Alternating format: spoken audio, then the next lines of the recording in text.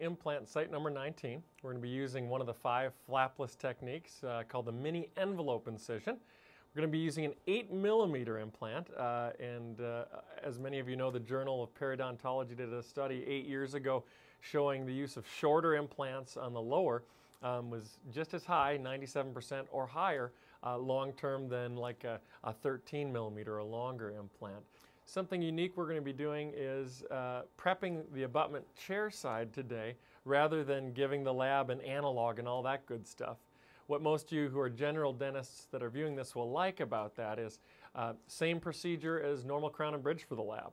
And so you don't have to uh, shoot the components back and forth with the lab. It's, uh, it's a much more user-friendly technique for both the clinician and the laboratory. And so I use a, a small instrument, much like a plastic instrument for composites to, uh, to actually make the mini envelope incision. So first of all, I kind of palpate the mucogingival junction, which is right here. And then we come up to where we're going to be placing the implant and just, just make, a, make a small incision in the keratinized tissue. That looks good. Then we're going to go ahead and do our initial pilot with the slow speed. So I'm going to use that to palpate the lingual and the buccal. We've got good bone. So this is a fairly fresh extraction site, so it's important to note that you do not want to drill all the way to the final drill. Um, we are going to uh, drill one drill short of that. So a 3.8 uh, diameter drill for a 4.7 implant. The final drill normally for a 4.7 is a 4.4. But of course with a fresh extraction site, we've got new bone in there. It's not real hard. So we're going to want that implant to exert a little compression. Uh, therefore, it'd be uh, a inserted at greater Newton centimeters. Uh, than, than normal. So this is, our, this is actually our final drill at a 3.8.